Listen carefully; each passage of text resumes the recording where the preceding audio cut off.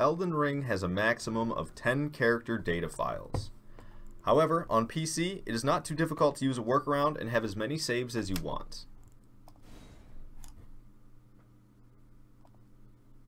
First, create a file location for your backed up character data.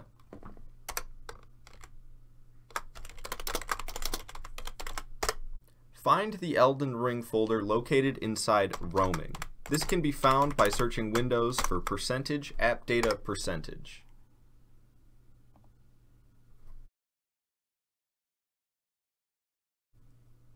Located inside, there is a folder named as a bunch of numbers.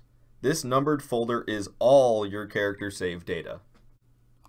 Copy the numbered folder and paste it into the file location that you created earlier. This will effectively make a save state or backup of all your character save data that will remain unaffected by in-game changes. Slightly alter the folder name to know that this is your first 10 characters. It is now safe to run Elden Ring and delete those first 10 characters that we just created save states for.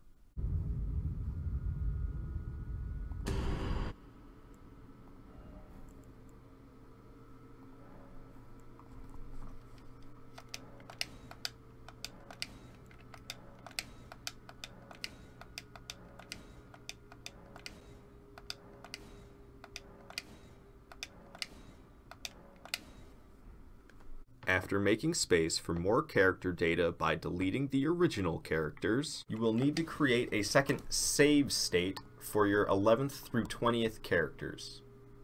It's the same steps as the first time. You copy the folder and paste it into your save state location, and then you rename the file name slightly to indicate that it is your 11th through 20th characters.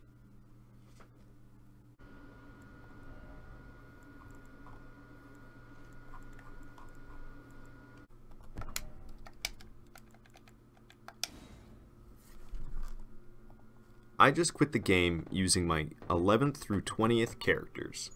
Before switching to my 1st through 10th characters, I will copy the current in-game save data and paste it into my backup location.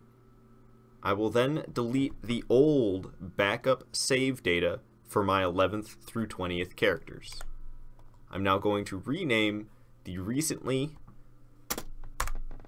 pasted folder to indicate that it is my 11th through 20th characters. I will now take the, the folder that contains the backed up save data for my 1st through 10th characters, and I will paste the 1st through 10th characters into the roaming Elden Ring folder, the currently used in-game data file location. I will delete the original and I will rename my backup to replace the original. Now, when I boot up Elden Ring, I will no longer be using my 11th through 20th characters. I will now have access to my 1st through 10th characters.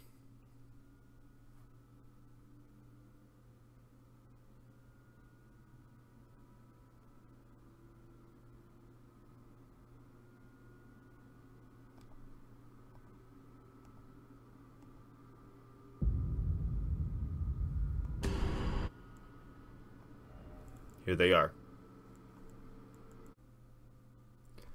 I would not recommend using this if you are interested in playing online, as you will probably catch a ban for doing so, but I only want to play offline on PC. Thank you so much for watching this tutorial, and please watch my streams over on Twitch.